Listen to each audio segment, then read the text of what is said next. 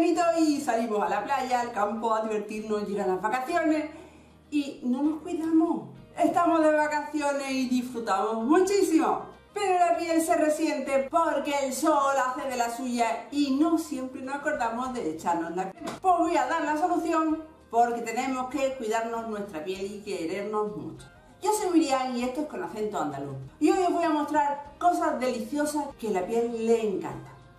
Aquí tengo aloe vera 100% aloe vera. Pone aquí aloe barbadensis 100% puro. Que os dejo por ahí la foto para que se vea mejor. Y el que no tenga esto, pues tiene aloe vera de una matita. Yo tengo las dos cosas y he cogido las dos cosas para enseñaros cómo se puede hacer de las dos maneras. También tengo, ya sabéis que soy fan del el aceite de almendras dulce, que para mí es una maravilla. Bueno, es que todos los aceites son fantásticos. El aceite de oliva, el aceite de girasol, está lleno de vitamina E, lleno. El aceite de aguacate llenísimo de vitamina E. Es que el aceite, a mí me gusta mucho el aceite y yo tengo la piel grasa, pero hay que coger el aceite adecuado para nuestra piel. Hagamos una cremita fantástica en 5 minutos. ¡Vamos al lío! Lo primero que vamos a hacer va a ser lavar nuestra penquita. Yo he conseguido que me regalen este trocito de penquita. Lo que voy a hacer es lavarla por fuera y dejarla que suelte lo amarillo que tiene en sus hojas durante un rato en agua. Y luego le voy a quitar esta parte como la cascarita, porque a mí lo que me interesa es la parte transparente que hay dentro. Voy a reservar el aloe y ahora he tenido toda la noche una rosa fantástica en agua para quitarle los bichitos y el polvo que tenga del jardín. Le quito la hoja fea y voy a coger todos los pétalos, que bonita, me da esta pena, y la voy a batir. Para hacer una infusión de rosa solo necesitamos una rosa bien bonita que habremos tenido en agua para quitarle los bichitos y el polvo que haya podido coger y vamos a poner a hervir una tacita de agua a la que le vamos a poner una rosa. Vamos a utilizar solo los pétalos. En cuanto el agua empiece a hervir, la apagamos, echamos la rosa y tapamos para que no se evapore. Voy a echarle dos cucharadas para poder batir todos los pétalos. Y ahora tengo la infusión de rosa con todo el juguito de los pétalos de rosa. Este agua de rosa me viene fantástico. ¿Habéis visto qué color? Y huele, tengo toda la cocina oliendo a rosa. Solo voy a usar dos cucharadas con el aloe. El aloe lo he hecho en el cacharrito para batir y dos cucharitas de este zumo de rosa tan maravilloso. Y luego voy a echar como media cucharita de aceite de almendra. El aceite de almendra es para pieles delicadas, pero si yo tengo la piel castigada por el sol ahora que estamos en verano, le echo aceite de aguacate, que viene fantástico porque tiene mucha vitamina E. Lo bato. Hoy hay tan poca cantidad que me cuesta batirlo. Y esto es lo que queda. Lo estoy echando en un tarrito. Esto le da a la piel un lustre, un brillo, un glamour, una cosa, una maravilla.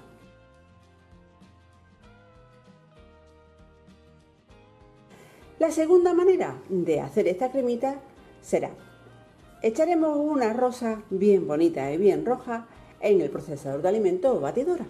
Luego tres cucharadas soperas de una infusión de rosa que hemos hecho antes.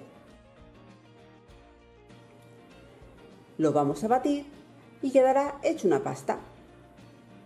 Y esta pasta la vamos a colar y tendremos un líquido lleno de vitaminas y de minerales del pétalo de rosa que nos viene perfecto.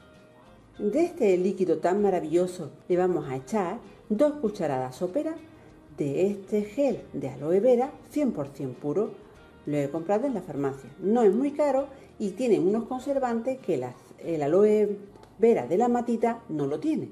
Así que este preparado nos va a durar más tiempo.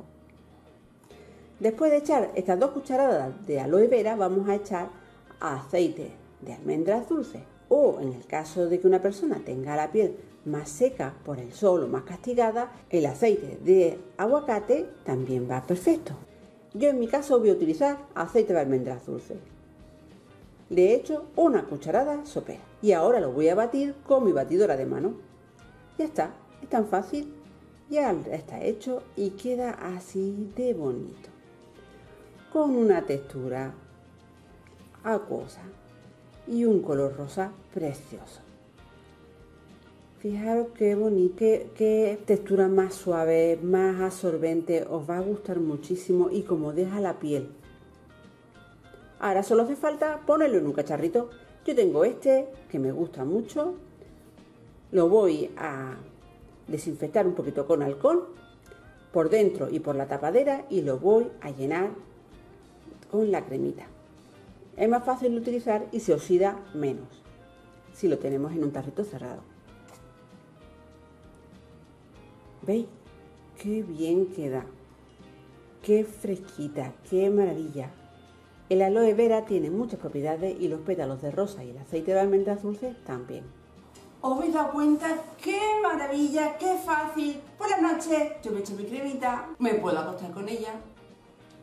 No me gusta quedarme acostarme con la crema puesta porque me siento ahí que estoy pegajosilla y no me gusta pues me la quito. Pero está un par de horitas con esta crema que tiene tantos nutrientes para mi piel que me lo va a agradecer. Disfrutar el veranito y cuidaros mucho. Hasta la próxima. ¡Chao!